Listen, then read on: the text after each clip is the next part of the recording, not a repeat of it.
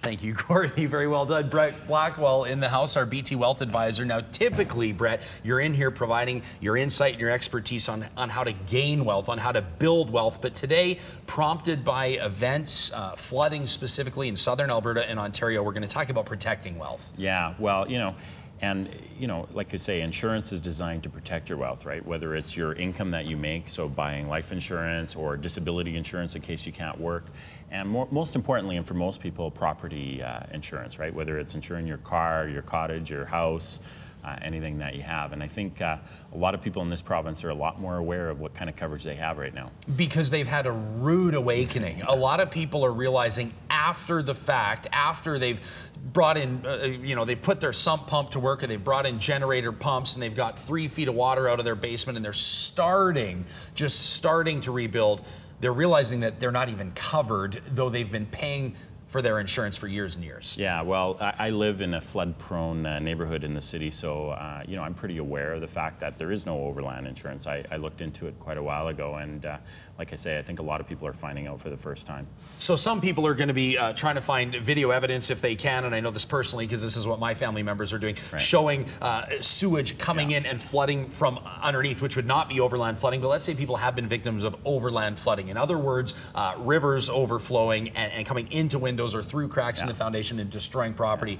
Uh, what do people need to do now moving forward? Unfortunately, for a lot of people, there's nothing you can do about what's already happened. What should we do now? Well, I think insurance is one of those things where it just seems like an expense, right? It's not something I'm going to need, so it's easy to neglect. And I think an event like this makes you aware uh, that maybe maybe we you could be the person that is affected by it. So it's a good time to do an audit.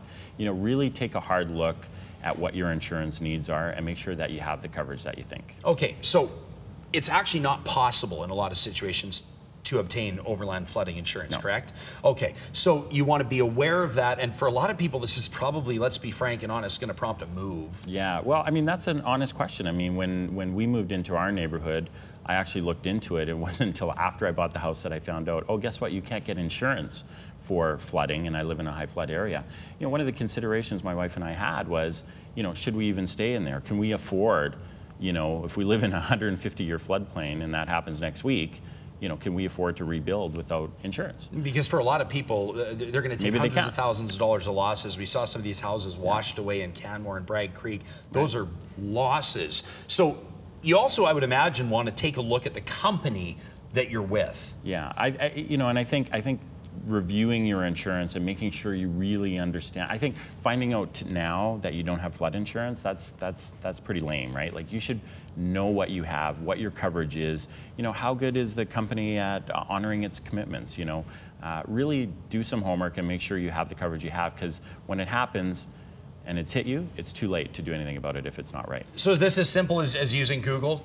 Google your insurance company, see how the sure. see how they've paid out claims in past? Absolutely. I, I think in a time like this, though, it's very difficult. You're not going to get a lot of, you know, when you have a mass event like this, I mean, nobody wants to be on the front page of the paper, right? So I would think at a time like this, claims are going to be paid out at a higher frequency than they would in normal times, right, when it might be a one-off.